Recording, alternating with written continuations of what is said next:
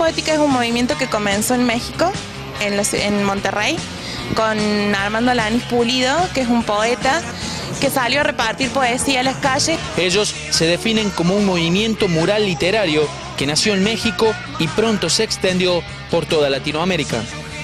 Tiene reglas, una de ellas es, eh, la principal es que no se pintan muros sin autorización del, del dueño, este, que tiene que ser el fondo blanco con letras negras, eh, tiene- no tiene que ser más de 8 o 9 palabras para que los puedan leer desde los autos que pasan andando. Se puede ver en casi en todos los Facebook algo de acción poética de todas partes del mundo.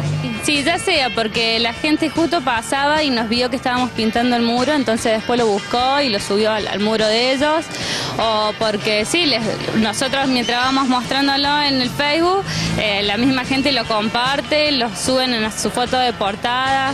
¿Y esto lo hacen eh, solo por amor a la poesía?